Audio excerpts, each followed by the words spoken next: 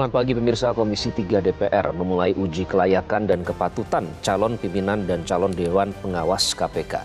Komisi 3 menunjukkan pada publik mereka paham segala kontroversi pada sejumlah nama capim yang diajukan dari panitia seleksi KPK dan disetujui Presiden ketujuh Jokowi.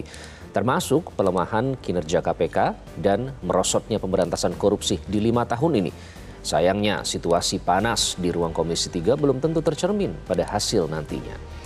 Inilah editorial media Indonesia edisi Rabu 20 November 2024 dengan tema Uji Capim KPK Cermin Integritas DPR bersama saya Iqbal Himawan. Anda juga bisa berpartisipasi dan berinteraksi melalui telepon interaktif di nomor 021 583 9900 dan pagi ini telah hadir bersama saya anggota Dewan Redaksi Media Group Aris Fadila. Mas Aris selamat pagi. Pagi Iqbal. Nanti berapa jam lagi ya 8.30 akan dilaksanakan fit and uh, proper test hari kedua. Hari kedua, meskipun itu uh, jadwalnya maju, tapi nanti rencananya akan mundur edit uh, apa penetapannya ya, oleh yeah. DPR. Nanti kita akan bahas lebih lanjut. Namun sebelumnya ada beberapa uh, topik utama yang menjadi headline dalam harian media Indonesia kali ini. Pemirsa bisa Anda simak baik melalui versi cetak maupun versi e-paper. Yang pertama, pecah telur akhirnya kemenangan perdana ya. Garuda Muda melawan Arab Saudi 2-0. Nah ini tentu menjadi harapan yang bagus setelah sebelumnya dihajar Jepang 4-0. Jadi yang kita bisa lihat supaya bisa mempertahankan asa ini apa Mas Aris? Ya eh, kita patut berbangga, kita patut sebagai warga negara patut eh, euforia itu eh, wajar hmm. ketika eh, kita melihat tadi malam uh, pasukan Sintayong berhasil membungkam Arab Saudi 2-0. Kalau kita lihat uh, sebelumnya dikalahkan Jepang 0-4. Hmm. Itu menurut saya uh, sebuah proses dari sebuah tim yang dibangun untuk menggapai mimpi menuju Piala Dunia. Jadi kalau kita lihat pertandingan semalam ya, kita terasa begitu apa ya? Melihat penonton begitu luar biasa menyambut kemenangan, berharap. Nah, ketika pertandingan melawan Jepang ada seruan untuk melakukan evaluasi, itu wajar. Betul. Ya kan, sebuah tim, sebuah sebuah apa namanya eh, yang dibentuk untuk menggapai sebuah mimpi itu memang harus dievaluasi. Hmm. Tapi kan eh, evaluasi itu harus apa ya eh, fair gitu ya, hmm. harus dilihat seperti apa sih Nah kalau kita lihat semalam, tim ini uh, bangkit dari sebuah kekalahan 0-4 hmm. yang uh, sempat apa ya uh, ada ketua umum PSSI sempat saya siap mundur siap jika mundur, ini. Sintayong ya. juga ada ada mulai muncul ya kan. Hmm, Pressure-nya besar ya karena belum memberikan besar. kemenangan tapi ternyata sangat besar. Ini... Tapi tim ini menunjukkan punya daya juang, hmm. punya apa namanya ya semangat untuk bangkit dari kekalahan. Determinasi tinggi. Ya? Determinasi ya? tinggi. Itu kita, hmm. saya melihatnya di situ bahwa sudah tidak relevan menyebut soal naturalisasi atau hmm. bukan. Toh tadi malam dua gol dicetak oleh pemain Selino, Indonesia. Jadi, di situ saya lihat. Jadi saya belum belum mau mengatakan bahwa ini lolos Piala Dunia tuh, hmm. kita nikmati saja perjalanannya, hmm. ya kan? Kita Betul. nikmati perjalanannya, e, bagaimana tim ini bertumbuh. Hmm. Pemain baru datang, ada yang apa? Bukan dibentuk dari sejak awal seperti Jepang yang sudah oh, matang, sudah ya. matang. Hmm.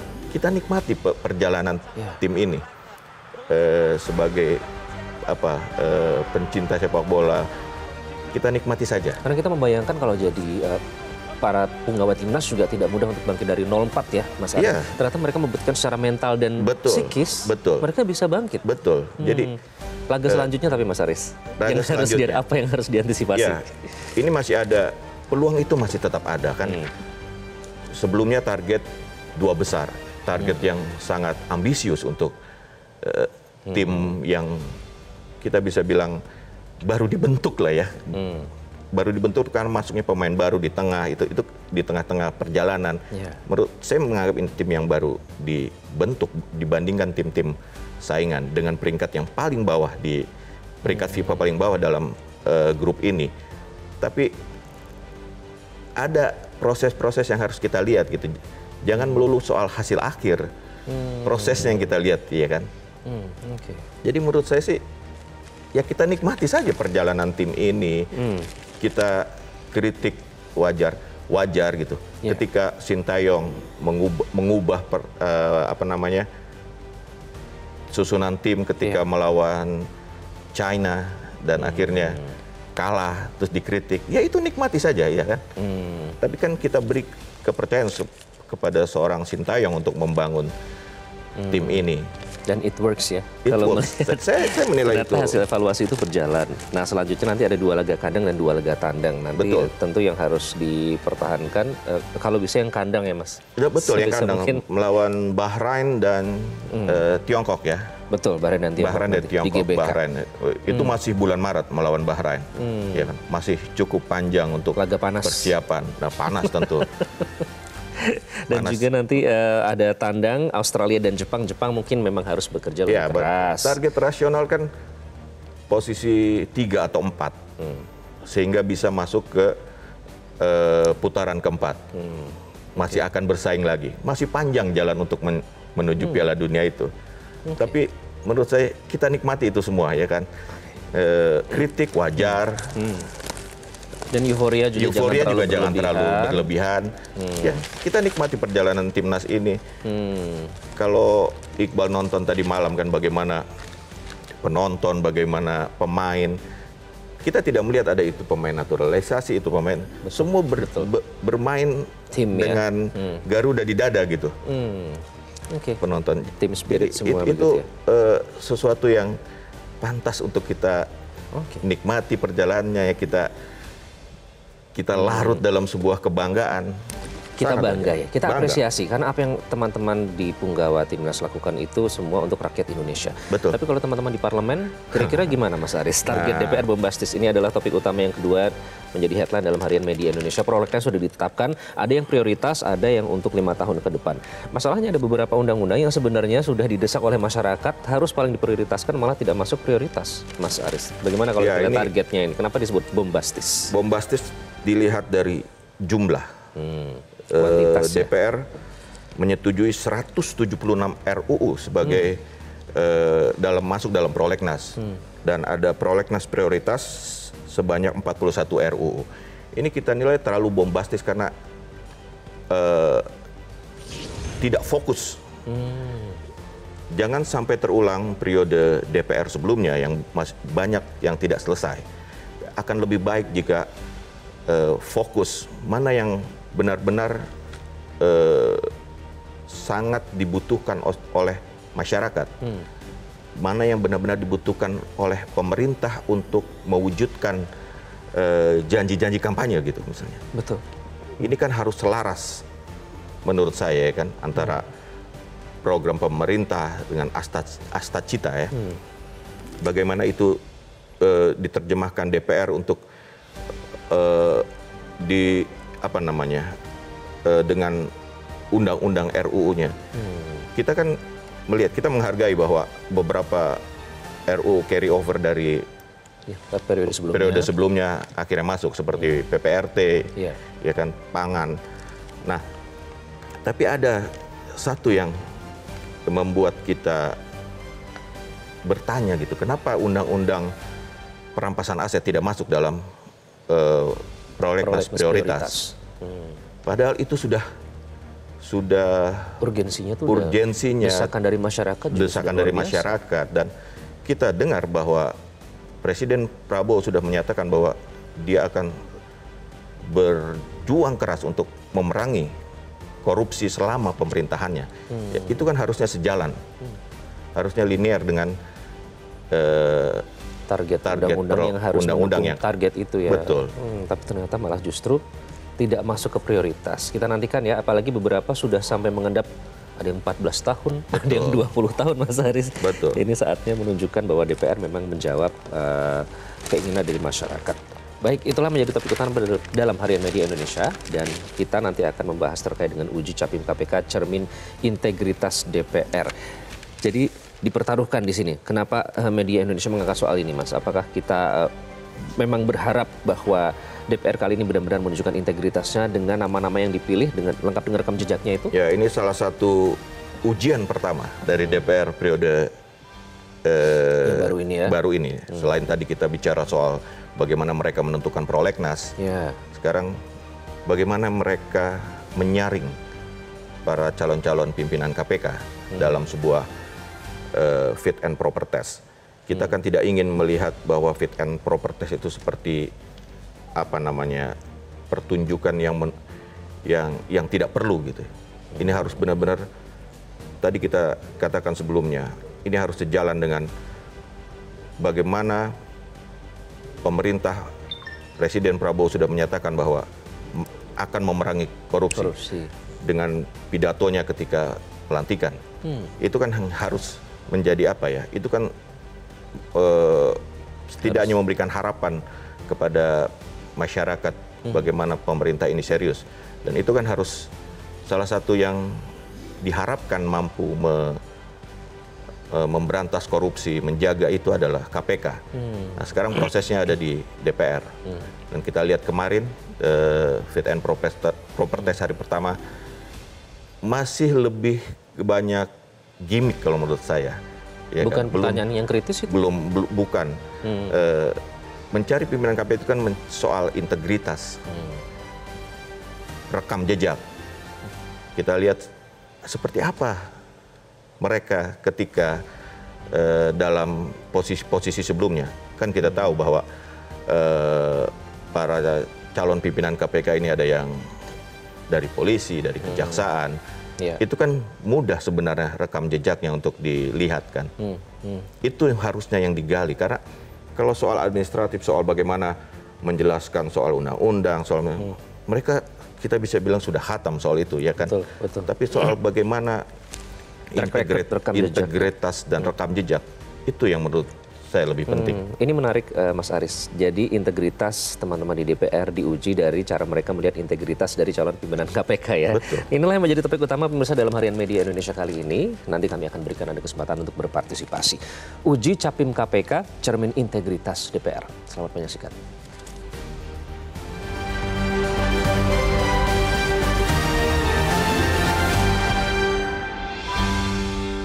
Uji capim KPK cermin integritas DPR.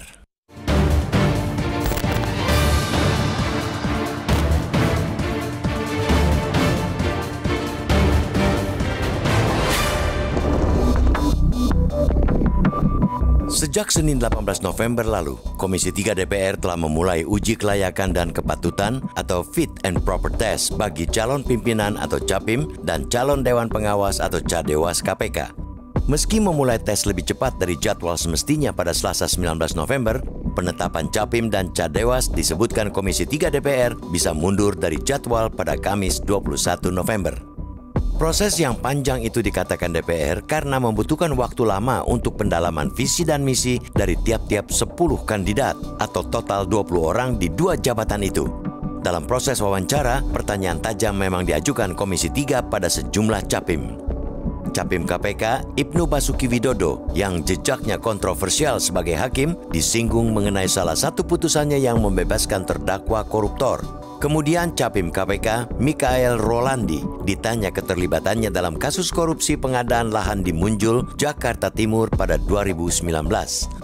Kemudian pada semua para capim KPK, Komisi 3 juga menanyakan pasal 2 dan 3 Undang-Undang Nomor 20 Tahun 2001 tentang tindak pidana korupsi atau tipikor yang tidak hanya menyulitkan penyidik karena bias, tapi juga bisa digunakan untuk kriminalisasi. Singkatnya, Komisi 3 sudah menunjukkan pada publik bahwa mereka paham segala kontroversi pada sejumlah nama capim yang diajukan dari panitia seleksi atau pansel KPK dan disetujui Presiden Joko Widodo. Begitu pula DPR paham kelemahan kinerja KPK selama ini, termasuk merosotnya pemberantasan korupsi di lima tahun ini. Sayangnya, situasi panas di ruang Komisi 3 belum tentu tercermin pada hasil fit and proper test nantinya. Seperti yang terjadi selama ini, DPR bisa 11-12 dengan pansel KPK. Dengan kata lain, segala pertanyaan tajam dalam fit and proper test boleh jadi sekadar gimmick di gedung parlemen. Bahkan di pemilihan DPR pula, kita bisa mendapati bahwa sosok yang sudah melanggar etik di KPK malah terpilih menjadi ketua di periode berikutnya. Hah. Maka perlu kita ingatkan kepada DPR bahwa publik sesungguhnya bukan menilai para capim dan cadewas KPK. Fit and proper test adalah ujian bagi DPR itu sendiri. Benarkah para anggota dewan akan jujur menilai pada rekam jejak para capim dan cadewas KPK? Ataukah justru ini menjadi ajang lobi untuk para pejabat nakal bercokol di lembaga anti rasuah? Hmm? Sebab layak atau tidaknya para calon sebenarnya bukan dicari dari wawancara, Kualitas para calon sudah gamblang terbaca dari rekam jejak selama ini. Begitulah adanya jika kita mencari integritas. Jawaban integritas bukan didapatkan dari tanya jawab, melainkan dari tiap keputusan yang mereka buat selama jejak karirnya. Proses wawancara di gedung parlemen hanyalah mengonfirmasi apa yang sudah dilakukan, baik rekam jejak yang baik maupun yang buruk. Sekali lagi, bukan mengubah atau memoles dengan jawaban-jawaban manis. Maka inilah saatnya DPR periode ini menunjukkan keseriusannya memperkuat KPK, yakni dengan cara memilih sosok dengan rekam jejak bersih. Dalam tiap-tiap lima nama pimpinan dan dewas yang nantinya dipilih, jangan sampai ada sosok-sosok kontroversial itu. DPR periode ini, meski juga masih banyak diwarnai wajah lama, jangan mengulang kesalahan pemilihan capim KPK sebelumnya Terlebih, terpilihnya Firly Bahuri sebagai Ketua KPK periode lalu harus menjadi sejarah kelam lembaga anti rasuah itu. Tidak kalah penting dengan Undang-Undang 19 garis miring 2019 tentang perubahan kedua atas Undang-Undang 30 garis miring 2002 tentang KPK yang sudah sangat mendegradasi independensi lembaga itu, maka DPR harus memastikan pimpinan dan dewas KPK juga harus bersih dari titipan politik. Hanya dengan pimpinan dan dewas yang bersih, baik dalam kasus maupun pengaruh politik, barulah KPK bisa menjalankan perannya sebagai salah satu garda depan pemberantasan korupsi.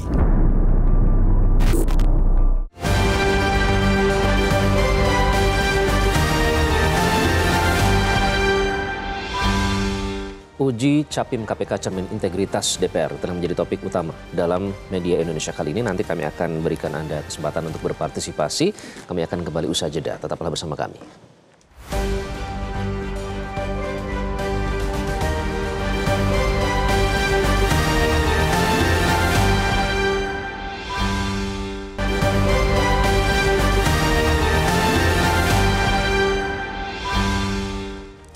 Anda kembali di editorial media Indonesia pemirsa dan uji capim KPK yang akan berlangsung hari ini adalah cermin integritas DPR. Itulah yang menjadi topik dalam media Indonesia kali ini.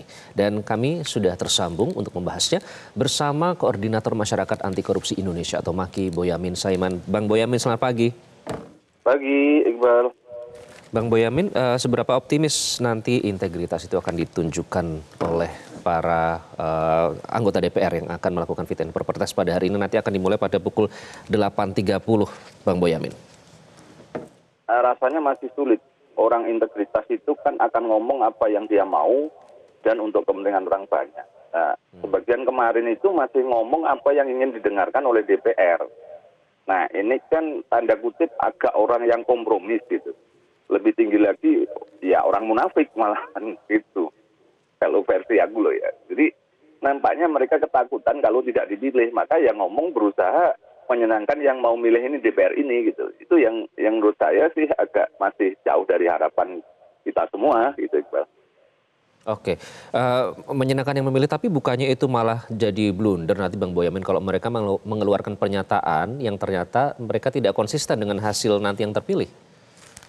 Nah justru itu sebenarnya kan kita masyarakat ini rakyat ingin mendengarkan mereka mau apa untuk negerinya gitu.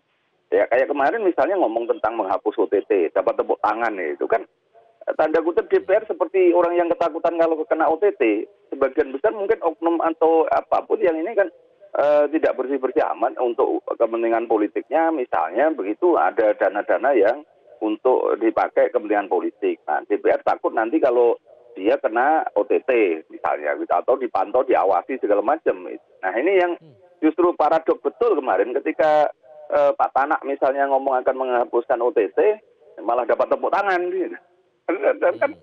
kalau DPR bersih semua kan ya. malah justru harusnya jengkel gitu karena apa pun tentang anu orang yang menyuap dan uh, memberi dan korupsi segala macam itu kan memang lorong-lorong gelap dan itu KPK diberi tugas untuk penyadapan eh, satu-satunya lembaga yang berwenang menyadap dan bisa dijadikan alat bukti kan sampai saat ini.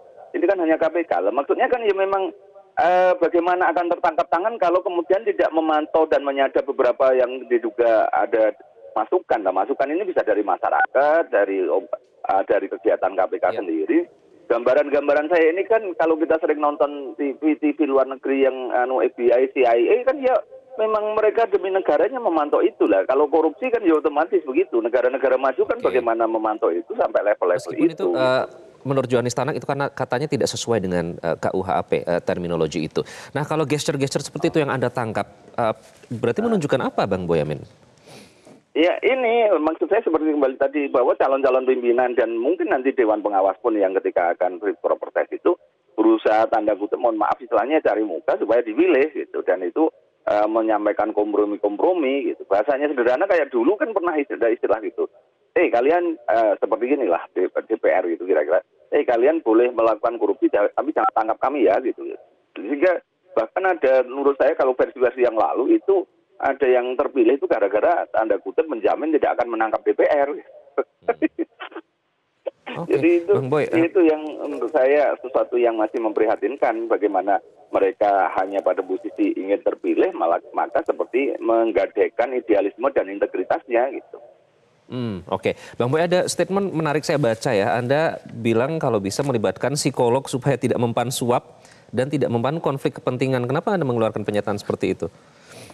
ilmu pengetahuan teknologi yang diamanatkan Undang-Undang Dasar 45 itu ternyata begitu jauhnya telah berkembang. Dan psikotes itu, psikolog itu mampu sejak dini memastikan orang ini punya integritas, baik atau buruk, punya keberanian, kejujuran, tidak itu sampai level itu. Nah, kalau DPR mau seperti itu, sebenarnya saya ingin uh, inginkan itu bahwa nanti orang-orang yang punya karakter buruk dan tidak kerja untuk tim misalnya dan pada posisi ya integritasnya diragukan gampang dideteksi itu sebenarnya. Nah dengan demikian kalau ini dipakai dan secara konvensional gitu uh, sebenarnya sangat gampang kalau mau gitu. Uh, psikolog-psikolog kita di UI itu sudah mampu mendeteksi ini bahwa orang-orang yang punya integritas tidak itu dari beberapa gambaran uh, dari psikotes saja bisa dilihat gitu loh sebenarnya. Jadi ini yang kalau menurut saya DPR ingin mendapatkan tim yang baik, the dream team dan uh, punya integritas itu harus menggunakan basic keilmuan itu. Sekarang kayak okay. survei pemilu misalnya atau itu kan ada dasar ilmunya dan hampir kita uh, saya bangga juga uh, hasil survei-survei itu kan mendekati kebenaran hasilnya kemudian. Hmm. Padahal samplingnya hanya 1.200 misalnya. Nah, karena memang okay. begitu jauh ilmu pengetahuan teknologi itu sudah menjadikan uh, jadi acuan kita bersama dan psikolog Oke, dan psikotes itu juga sudah sangat mampu atau sains ya. ya. Baik, Bang Boy, ya. uh, bukannya integritas itu sebenarnya sudah kita bisa lihat dari rekam jejak atau track record itu kan sudah jelas semua ada datanya bahkan teman-teman aktivis juga dengan senang hati memberikan datanya jika diminta begitu. Apakah itu tidak cukup? Uh, semua uh, anu apa dalam posisi untuk melengkapi gitu, Iqbal. Jadi ini yang menurut saya justru rekam jejak justru kemudian kita padukan dengan ilmu psikotesnya, kita padukan dengan uh, pandangan orang, anu, penilaian yang aktivis segala macam itu kelihatan di situ sebenarnya akan memudahkan semuanya gitu maksud kita hanya melengkapi bukan bukan sesuatu yang uh, tidak cukup enggak ini kita saling melengkapi Iqbal. Oke, uh, kemudian ada beberapa pertanyaan yang cukup kritis ya. Uh, setidaknya dinilai begitu dari beberapa anggota DPR kemarin diajukan pada saat fit and proper test terkait dengan rekam jejak dari beberapa calon yang dinilai kontroversial, termasuk dengan pasal dalam undang-undang yang juga dinilai justru melemahkan dan berpotensi untuk mengkriminalisasi. Kan kita bisa percaya itu Bang Boy, bukankah begitu para wakil kita di gedung parlemen? Iya, beberapa ada gambaran yang bagus dari parlemen ketika kritis, tapi kan saya harus mencatat hal-hal yang menurut saya malah menjadi suatu ambigu atau paradok ketika ketika Pak Tanak misalnya mengatakan akan menghapus OTT, loh kok malah girang semua gitu kan? Itu kan seperti istilah saya ini, kenapa misalnya undang-undang perampasan aset tidak disahkan dengan materi yang sempurna, sekarang malah mau dialihkan jadi pemulihan aset segala macam. Dan kemarin juga ada calon yang ngomong, mau saat negara kok merampas. Ini kan eh, sesuatu yang paradok. Kenapa? Bahasa saya DPR itu dalam konteks keseluruhan eh, yang bisa dimengerti gitu atau ya oknumnya apa misalnya undang-undang perampasan aset itu kan sejak 2008 sampai sekarang enggak disah-disahkan. Nah, kalau disahkan kenapa? Akan menembak kakinya sendiri gitu. Kalau istilah senjata makan tuan enggak lah, menembak kakinya sendiri gitu kan. Kalau istilah saya yang paling pas itu. Nah, ini maka tidak di akan di, di, di, di akan susah disahkan. Nah, makanya sebenarnya kalau uh, DPR itu mendengar suara aspirasi masyarakat justru melakukan pertanyaan sederhana. Eh, apa kalian calon pimpinan KPK setuju tentang uh, pemberlakuan undang-undang perampasan aset untuk segera dilaksanakan atau disahkan? Okay. Itu satu. Kedua, apakah kalian setuju revisi undang-undang KPK itu dibatalkan dan kembali kepada undang-undang KPK yang lama nomor 30 tahun 2002 misalkan? Lah, kalau itu mereka berani segala macam harusnya yang dipilih kan ini. DPR harusnya mengabaikan, menyingkirkan keinginan-keinginan pribadinya tapi mestinya mendengarkan kemauan masyarakat indeks persepsi anti korupsi itu kan jatuh ya ada beberapa soal utamanya uh, adanya revisi undang-undang KPK yang melemahkan KPK. Pimpinan KPK yang kemudian dipilih oleh DPR kemarin jelek semua. Ini kan harusnya menjadi evaluasi DPR gitu loh. Kalau memang ini untuk aspirasi rakyat yang tidak okay. disejahterakan dengan cara Jadi, korupsi hmm, kita itu diberantas. Sinergi yang dijalin antara DPR dan KPK seharusnya untuk semangat pemberantasan korupsi, bukan yang lain ya yang bisa dikhawatirkan berujung kepada kesepakatan di ruang gelap. Bang Boy, jadi apa yang akan bisa kita simpulkan, Bang Boy, dari nanti nama-nama yang akhirnya lolos? Ya, terus terang aja saya belum penuh belum terlalu apa uh, harapan saya tidak terlalu tinggi lah sebenarnya ini uh, nanti pimpinan KPK yang hendak kita dapatkan itu tidak usah muluk-muluk yang istilahnya ikan besar itu kan penegakan hukum. Tapi saya ingin bahwa pimpinan KPK nantinya bisa sinergi, tanda kutip bisa memaksa pemerintah untuk melakukan pencegahan korupsi yang baik dalam bentuk perbaikan tata kelola. Nah, ukuran saya sederhana, Iqbal. Kalau negara-negara maju itu kan seperti Malaysia, Singapura, uh, Singapura dan sekarang diteruskan oleh Malaysia dan Amerika dan itu kan mereka dalam konteks mencegah rembes dan tiris gitu. Nah, kita levelnya itu mencegah bocor gitu kan. Nah, beberapa kasus kita ini bukan hanya bocor tapi jebol gitu. Nah, beberapa kasus korupsi kan kerugiannya besar-besaran itu kan lima tahun terakhir itu bagaimana korupsi itu tidak bisa dicegah lebih jauh misalnya di tata kelola pemerintahan kita yang baik. Bagaimana uang masuk tidak dikorupsi misalnya kasus pajak dan cukai, biaya cukai segala macam yang kemarin dibongkar Pak Mahfud sampai di 300 triliun. Terus kemudian penggunaan uang bagaimana banyak yang jebol itu versi saya gitu banyak sehingga tidak hanya sekedar bocor. Nah, inilah sebenarnya saya hanya berkeinginan uh, korupsi ini dicegah di uh, di pada di, uh, istilahnya di proses-proses anu penyelenggaraan ke pemerintahan yaitu bahwa me, ma, uang masuk di uh, tidak bocor, uang keluar tidak bocor gitu. Tidak usah muluk-muluk menja menjadi mencegah rembes dan tiris gitu. Kita Baik. masih jauh dari harapan itu. Nah itu yang saya berharap begitu. Kalau cuma kita selalu penegakan hukum nangkap orang nangkap orang ya itu perlu untuk anu apa efek jerah. Tapi bahwa kita ini kan harusnya sadar kita ini soal tata kelola pemerintahan yang buruk. Semua hal bisa dikorupsi. Baik, Uang perjalanan dinas saja bisa dikorupsi. Gitu kan sudah hmm. keterlaluan kita ini kan fiktif dan okay. sebagainya dimakap gitu. Baik, jadi harus dari hulu ke hilir ya. Bang Boy terima kasih kita berharap sebenarnya Bang Boy bisa optimis sedikit begitu, tapi ternyata banyak fakta-fakta yang apa uh, bisa menimbulkan punya, punya, kita melakukan integritas DPR. Bahwa negara terima kita kasih. yakin akan lebih baik itu, Iqbal. Terima kasih. Oke, baik. Terima kasih Bang Boy sudah bergabung di editorial Media Indonesia. Uh, Mas Aris tadi saya uh, ada pernyataan menarik dari Anda, ini kan memfilter menyaring. Yeah. Tapi kalau yang dari kemarin kan terbukti saringannya itu tidak rapat ya jaringnya, jadi ternyata masih ada yang rekam jejaknya. Uh, kot, masih kotor, istilahnya malah justru terpilih menjadi ketua KPK kan terbukti kemarin dari yeah. kasus Firly Bahuri. Apa yang bisa kita nilai dari situ? Betul. Kalau kita meminjam istilah Bang Bunyamin tadi kan, bahwa yeah. seharusnya DPR sebagai saringan terakhir hmm.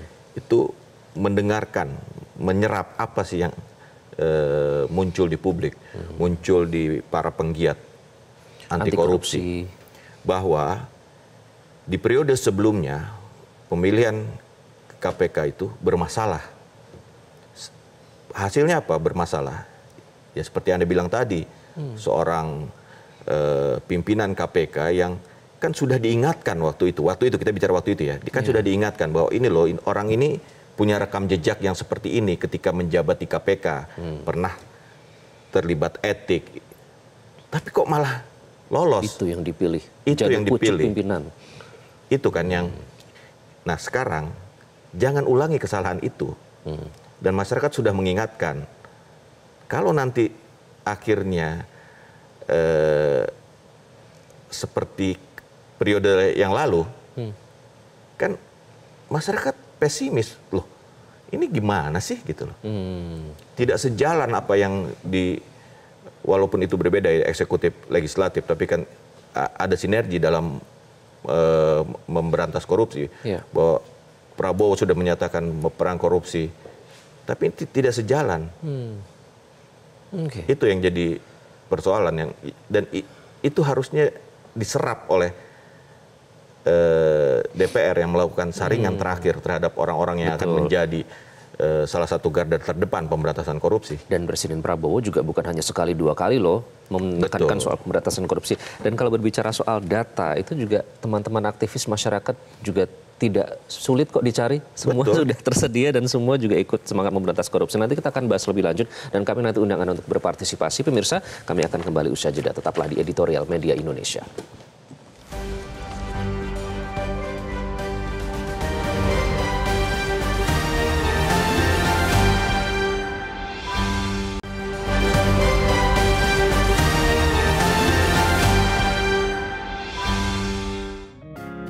Media Indonesia mengajak Anda untuk mengakses fitur premium e-paper. Dengan sajian konten berbasis intelektual dan meneguhkan kebangsaan, Media Indonesia tampil dengan lebih dinamis melalui e-paper Media Indonesia yang dapat Anda akses kapan saja, di mana saja. Caranya mudah, download aplikasi Media Indonesia di Android atau ketik link e-paper.mediaindonesia.com atau bisa scan QR code pada layar kaca Anda. Klik tab e-paper di bagian samping layar tablet Anda, daftarkan data diri, serta pilih paket perlangganan e-paper Media Indonesia sesuai dengan kebutuhan Anda. Nikmati juga bonus spesial tambahan 4 halaman rubrik fokus setiap hari. Semua bisa Anda dapatkan hanya di e-paper Media Indonesia. Untuk informasi lebih lanjut, hubungi customer service di nomor 0811 1201 2018 atau kunjungi media sosial at Media Indonesia. Media Indonesia, referensi bangsa.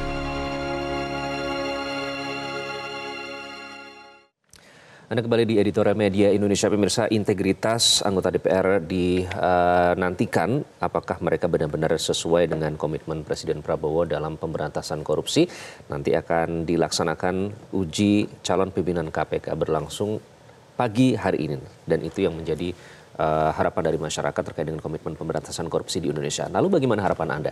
Kami akan berikan Anda untuk berpartisipasi melalui sambungan telepon. Pemirsa yang pertama kita akan sapa sudah bergabung di editorial kali ini ada Pak Max Simatau dari Manokwari, Papua Barat. Pak Max, selamat pagi.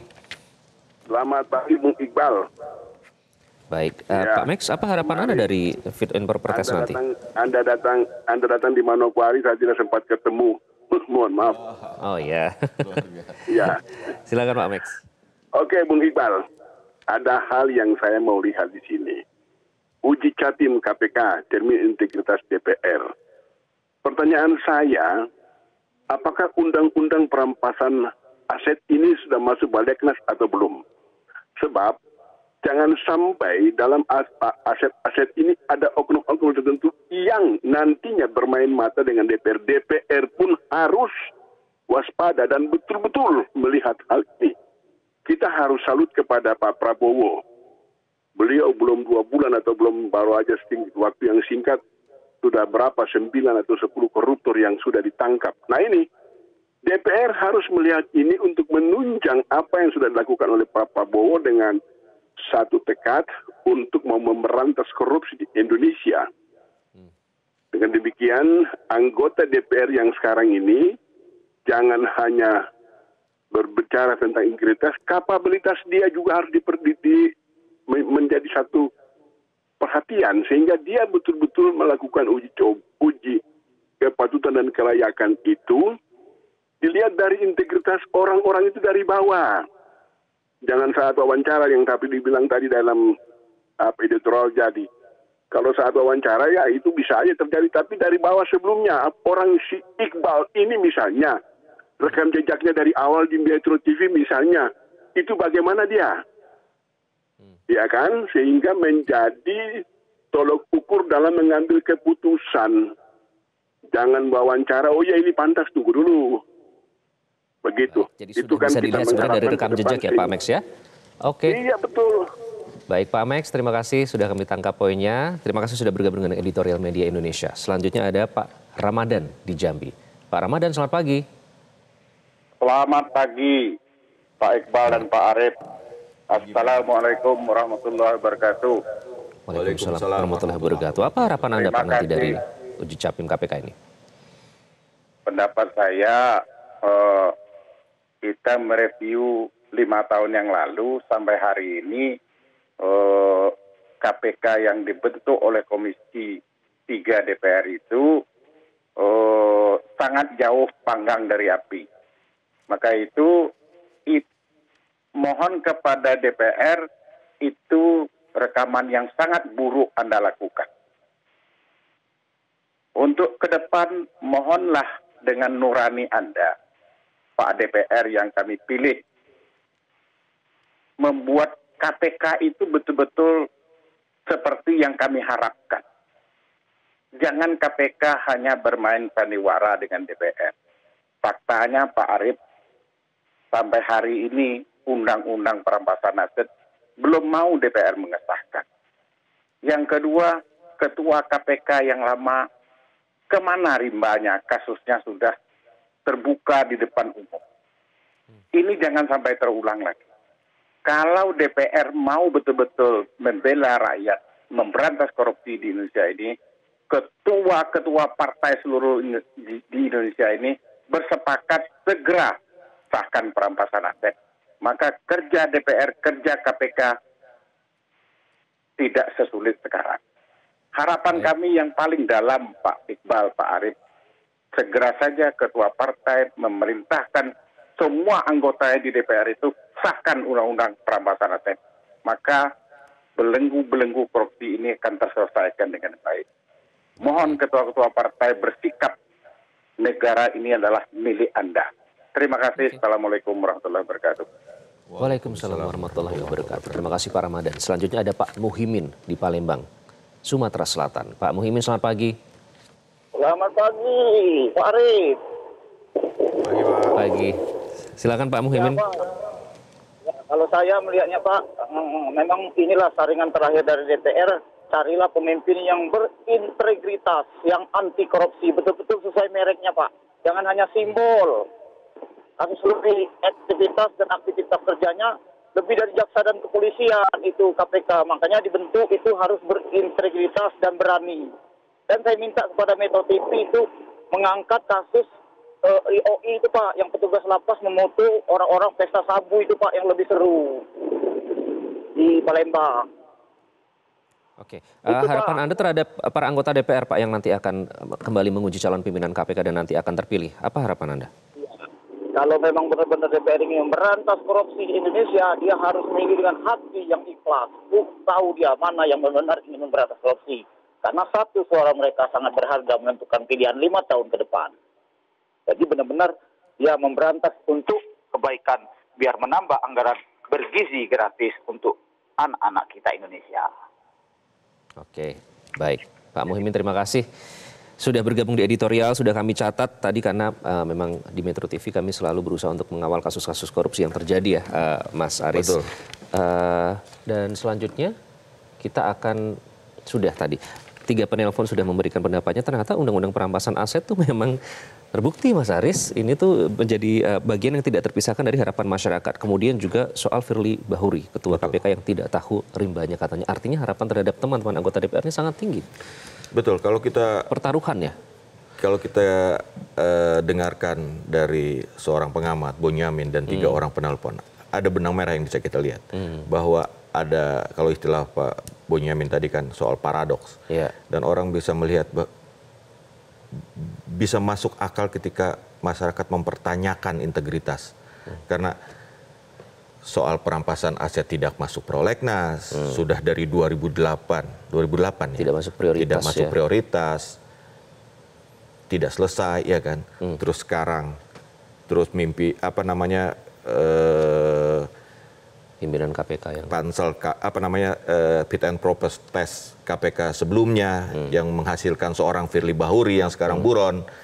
Terus sekarang itu ada benang merah bahwa ini loh soal integritas. DPR-nya pun harus punya integritas untuk menghasilkan eh, pimpinan KPK yang punya integritas. Oke, bagaimana cara menunjukkannya juga ternyata itu relevan dengan angka indeks pemberantasan korupsi. Betul. Nanti kita akan bahas lebih lanjut, Mas Aris. Kita harus jeda terlebih dahulu. Pemirsa, tetaplah bersama kami di Editorial Media Indonesia.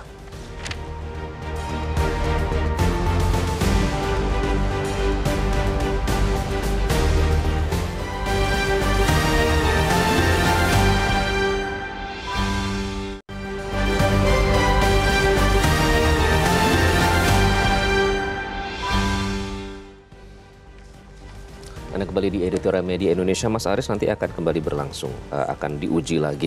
Nah, dipertaruhkan ya tadi kalau ada menyebut benang merah antara kejadian antara harapan terhadap UU perampasan aset, kemudian dengan saringan yang tidak bersih sehingga menghasilkan pimpinan yang kualitasnya seperti Firly Bahuri. Jadi nanti apa yang harus eh, diperhatikan oleh teman-teman anggota DPR untuk menunjukkan bahwa mereka itu mendengarkan aspirasi dari masyarakat, Mas Aris? Ya kalau kita baca ya eh, sebelumnya pe- pernyataan para penggiat anti korupsi bahwa mereka sudah memberikan data-data rekam jejak dan segala hal soal para calon pimpinan KPK ini. Minimal itu dibaca, minimal itu di, dipelajari bahwa itu yang dicecar soal rekam jejak. Kan ada yang mantan poli, eh, polisi, hakim, jaksa, eh, BPK, ya kan. Itu kan semua orang yang rekam jejaknya itu mudah untuk di di di- Didapatkan. di- didapatkan. Tidak ada alasan untuk susah mencari itu Minimal ya. dari LHKPN. Bisa ditanya, Anda punya harta segini dari mana? Ke situ minimal, ya kan? I- Di situ akan di ujian yang menurut saya lebih pas untuk saat ini di saringan terakhir. Bukan ditanya soal undang-undang, bukan ditanya soal bagaimana bagaimana bagaimana gitu karena mereka rata-rata seorang berlatar belakang penegak hukum udah tahu lah soal itu. Iya kan? Jadi lebih ke benar-benar menguji integritas, menguji rekam jejak. Itu yang harus ditunjukkan. Kan eh, ketika pansel dibentuk pemerintahan sebelumnya, orang sudah me- memberikan masukan, memberikan kritikan Ya. agar benar-benar pansel ini menyaring orang-orang terbaik, orang-orang yang sudah selesai dengan dirinya. Tapi muncul ternyata tidak sesuai harapan. Kemudian masyarakat meminta Pak Prabowo untuk eh, mengevaluasi atau kalau bisa membatalkan eh, apa yang sudah dilakukan pansel sebelumnya. Tapi itu tidak terjadi. Sekarang maka di DPR lah saringan terakhir untuk menghasilkan orang-orang yang eh, punya integritas. Karena integritas dan rekam jejak itu yang paling Hmm. Tanya jawab itu penting untuk mempertajam, tapi Betul. sebenarnya semua bisa dilihat dari rekam jejak ya. Apalagi banyak kasus sebelumnya penegak hukum itu terlibat konflik kepentingan pada saat Betul. mereka harus bekerja di KPK. Indikatornya tuh, Mas Aris kita tuh di nomor berapa sih kalau Indonesia ini peringkat anti korupsinya tuh Terakhir 34, kan 34 sama dengan ketika eh, periode pertama Presiden Jokowi eh, di apa diwarisi sebuah indeks. Kemudian kan eh, naik turun di periode pertama sempat sempat membaik. Ya. Cuman kan di di periode kedua banyak hal terjadi dengan KPK.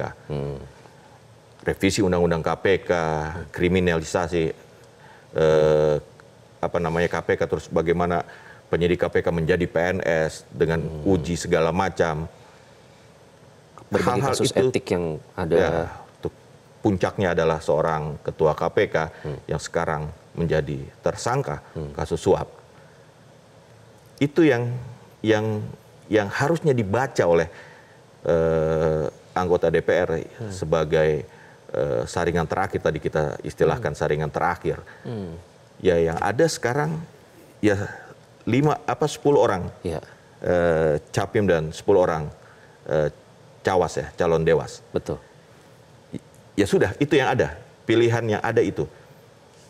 Nah, sekarang kita bagaimana melihat dan mendorong DPR untuk dari calon yang ada yang sudah ya tidak bisa diapa-apain lagi ini kan. Hmm. Benar-benar di eh, pelototi betul soal rekam jejak dan integritas. Oke. Seorang hakim misalnya, kemarin ada tuh hakim yang dicecar bahwa anda pernah eh, memutus bebas koruptor pada tahun ini. Itu tahun saja berapa sudah ini? menjadi rekam jejak itu, sebenarnya. Itu yang harus dilihat kan. Terus Oke. ada eh, capim yang mantan komisioner sebelumnya. Hmm.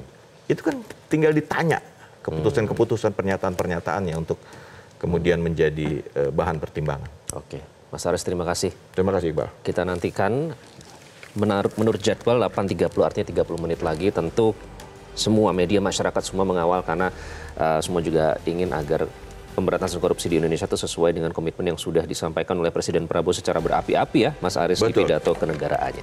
Dan pemirsa, berkaca dari kasus Firly Bahuri, DPR periode ini jangan mengulang kesalahan pemilihan capim KPK sebelumnya. Dengan Undang-Undang 19 garis miring 2019 tentang perubahan kedua atas Undang-Undang 30 garis miring 2002 tentang KPK yang sudah sangat mendegradasi independensi lembaga itu, maka DPR harus memastikan pimpinan dan dewas KPK juga harus bersih dari titipan politik. Hanya dengan pimpinan dan dewas yang bersih, baik dalam kasus maupun pengaruh politik, barulah KPK bisa menjalankan perannya sebagai salah satu garda depan pemberantasan korupsi. Terima kasih Anda sudah menyaksikan editorial media Indonesia. Saya Iqbal Limawan, selalu jaga kesehatan Anda. Sampai jumpa.